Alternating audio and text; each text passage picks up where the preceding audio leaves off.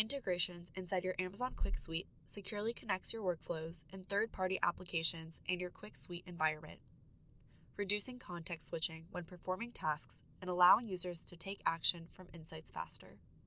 Let's see how AnyRetail Snacks uses various integrations to power their generative AI features and agents inside Amazon Quick Suite.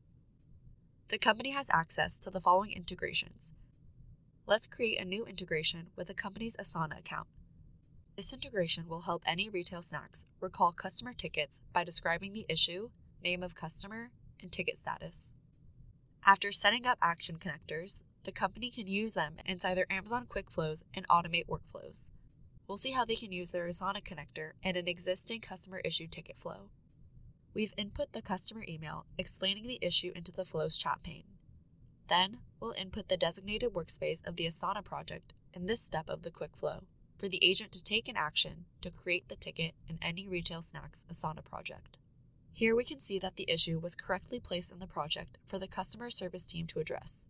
Now let's see how the team can use their Slack connection to streamline communications from their Amazon Quick Suite data. AnyRetail Snacks has created a chat agent that is connected to the company's Slack account. Here are the available actions that can be taken from their Slack connector. Mary, the product leader of Real Fuel Bars, uses the chat agent to get month over month sales trends of that snack. The team's chat agent provides key insights from their Amazon QuickSight dashboard. She wants to send this to Joe, the business analyst on her team, to take a further look. The agent will generate a message to Joe's email, inputting the key information Mary received and the link to their QuickSight dashboard. Now, when Joe checks his Slack app, he can see the message from Mary. Alternatively, Mary could send Joe the Slack message straight from their Amazon QuickSight dashboard. This visual is showing a decline in month over month sales for their product. Mary wants to take an action to let Joe know this needs further investigation via Slack.